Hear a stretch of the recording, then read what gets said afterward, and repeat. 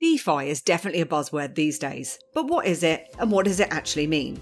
If it's decentralized, where is your money stored? Who's making sure the system is functioning correctly? And how is it safe if not a single authority is guarding it? Well, in this explainer video, we'll answer all your questions about DeFi. For more information on decentralized finance, please check out everybithelps.co.uk. DeFi is short for decentralized finance. Now, we're all familiar with centralized finance or CeFi without actually realizing that that's what we're using. And this is where a central authority, such as a government or a bank, controls the flow of money and makes decisions about it. These authorities can do whatever they want with your money. They can print more money, which will consequently bring the value down, or they can stop you from borrowing at all. These authorities can even restrict access to your funds at any time by freezing your bank account, which happens to millions of people every year. Traditional centralised finance system is also expensive to use, especially if you consider credit card rates or personal or payday loans, where rates can be as high as 500%. These rates are high for two reasons. Firstly, the bank employs workers, and their salaries come from the interest that you pay on your loans. And secondly, you don't really have any other financing options. If you want a loan for your house or for a new car, for example, you're bound to go to a bank in your country for financing. Now, what if I told you there was a cheaper, more accessible option where no banks or governments are involved? An option where you could borrow money for lower interest rates, regardless of whether or not you're 18 or 65 years old, and this option is called Decentralized Finance, or DeFi. Decentralized finance is an emerging finance ecosystem that does not require any supervision to function. With decentralized finance, there is just a piece of open source code that runs and acts as a bank, accessible by anyone. Plus, since these DeFi institutions hire zero employees, they're automatically a far cheaper alternative to centralized finance. Just think of it as a bank on autopilot. The DeFi ecosystem has three foundational aspects cryptography, blockchain technology, and smart contracts, which we'll cover in other explainer videos. Now, we're going to go through the main foundations of DeFi. Let's start with stablecoins. Stablecoins, such as the likes of USDC, DAI, or USDT, act as a bridge between the world of centralized and decentralized finance. They're pegged one to one to the US dollar and are used to convert your fiat currency to cryptocurrency or vice versa. When you buy one unit of a stablecoin for a dollar, a new USD coin is minted. Similarly, when you withdraw your crypto gains to a fiat currency, the equivalent USD coins are burned, maintaining the demand and supply balance so that one stablecoin is always worth one US dollar. Now, say you bought the likes of a crypto like Solana when it was $10, but now it's worth $200, and you want to sell and withdraw your profits to your bank account. Well, you'd be required to use a centralized exchange like Coinbase, KuCoin, or Gemini, and no stablecoins would be involved in the transaction. However, because they're centralized, they're going to be charging you a fee to do so, because they hire people who need to be paid and essentially they need to run a business. Also, since you're withdrawing the money to your bank, depending on your location, you may be liable to pay taxes on your profits too. Another issue with centralized exchanges is that they can take a few days to transfer the money to your bank account. And if you're in a rush to buy or collect your gains, this isn't ideal. Now, suppose you decide to hold your profits in a stablecoin like USDT or DAI. In that case, you'll be able to purchase crypto later without incurring deposit fees every single time. You'll only be charged a small transaction fee too when you convert your stablecoins to the crypto that you want to buy. Another advantage of using a decentralized exchange is that your account can never be hacked, nor the money can be taken from the government, which has happened in the past with some centralized crypto exchanges. With a DEX, your money will only move from wallet to wallet. There's no central reserve of funds and hence no chance for hackers to hack those reserves. And if you are planning on hodling crypto tokens, I'd recommend checking out deals for hardware wallets, which you can find over on our deals and promotions page at everybithelps.co.uk. Another advantage of decentralized exchanges is speed. When moving big chunks of money, a bank representative will call you to verify if you're making the transaction or if you're performing an online transaction instead, you'll have to add a beneficiary first to your account. Your bank will then send you an OTP, which you can enter on your screen. and once a beneficiary is successfully added, you can perform the transaction and get another OTP to complete the transaction. Instead, by using stablecoins, you can simply move millions of dollars from one location address to another in a matter of minutes, and it's extremely simple and fast. The next fundamental of the decentralized finance ecosystem is lending and borrowing. When borrowing from your local bank, you can get into trouble if you don't pay the money back on time.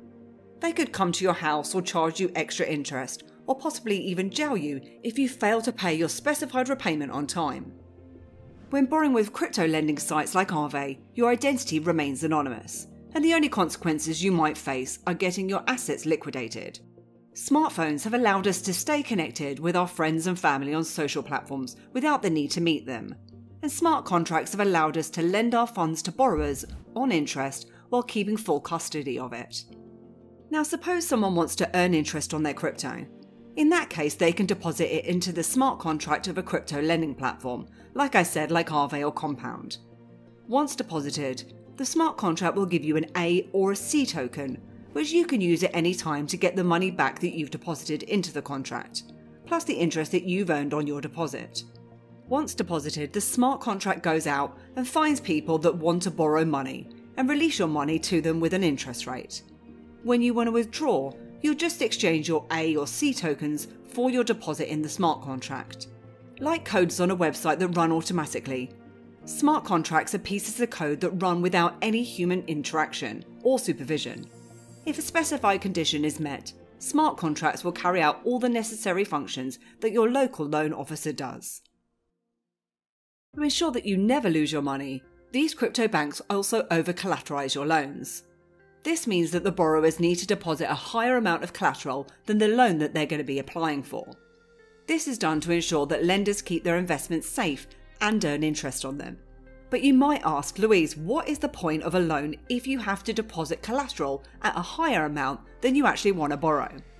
Well, with over collateralized crypto loans, you don't need to sell your crypto, which you think might go big one day.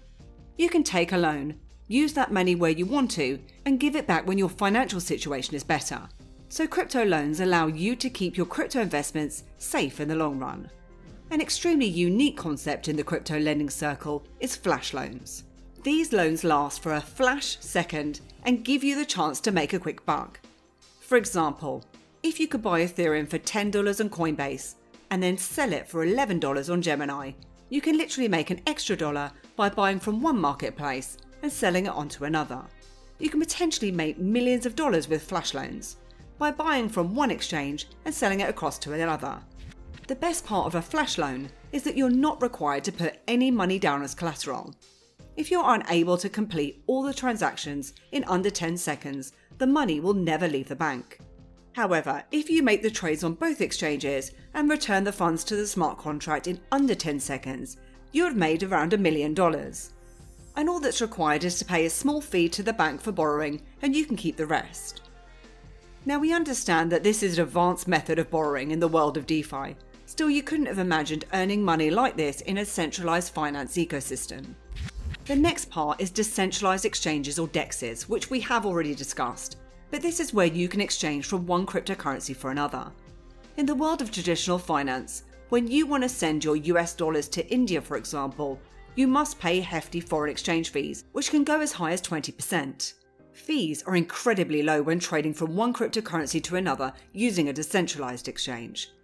DEXs work in a way that investors pull their money together and then traders can trade that money. The fee of every trade goes back to those investors, and it's all written in code so nothing changes. Decentralized exchanges also give exposure to far more tokens and coins. With centralized exchanges, tokens are added to a list once they reach specific regulations. However, decentralized exchanges can hold hundreds or even thousands because a single body doesn't regulate them. The next fundamental is insurance. With something like home insurance, you pay an amount every month or year to protect your home. And the insurance company runs some numbers and determines a premium for you based on their data. With decentralized finance, smart contracts becomes the insurance company. For example, if a farmer buys insurance through a smart contract for his crop and his crop dies due to high temperatures, the smart contract will repay him. And the smart code knows the temperature by connecting the real world to the blockchain using something called oracles, which are a topic for another video. The smart contract knows the temperature limit, and once that limit is reached, the contract will automatically release insurance money to the farmer. In this example, an oracle is created to read temperatures of the real world and is verified by humans that are an expert in this. The smart contract then uses this as the data for monitoring the insurance policy for the farmer.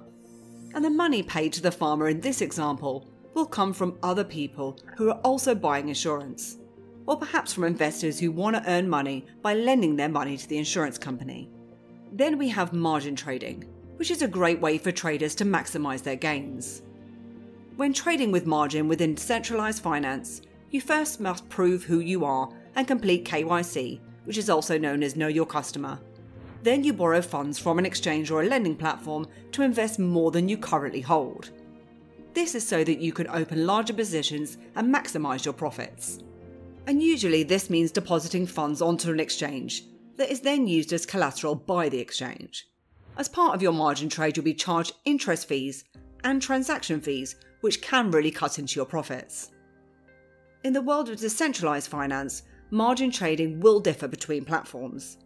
But the platforms that you can perform margin trading on include the likes of DYDX, where users can trade up to 5x leverage using their own funds as collateral. And margin trading is anonymous, accessible to anyone with money, and although it's likely that users will need to pay interest and transaction costs, these will be a lot lower than centralised exchanges. Finally, we have governance and there's been a huge increase in the number of decentralized autonomous organizations, which are also known as DAOs. This is where smart contracts will manage the governance of a company. So instead of having the likes of board members or executives, instead decisions are made by the community who vote. A few companies, including Shapeshift and 1inch, are or are becoming entirely run by the community. So as you can see, there's a lot of value to DeFi, which is why so many investors are taking out their billions from traditional finance and putting it into this new technology. 2022 will see a lot of investment into DeFi, and if you're looking to make some money, DeFi offers a lot of potential. To find out more about the world of crypto, please check out our new series of explainer videos and subscribe to our channel by clicking on the button at the bottom of this video. And I hope that you enjoyed this video today, and if you did then please give me a like hit the subscribe button, and please do head over to our website at everybithelps.co.uk for more tips, reviews, and step by step guides. Thanks, and I'll see you soon.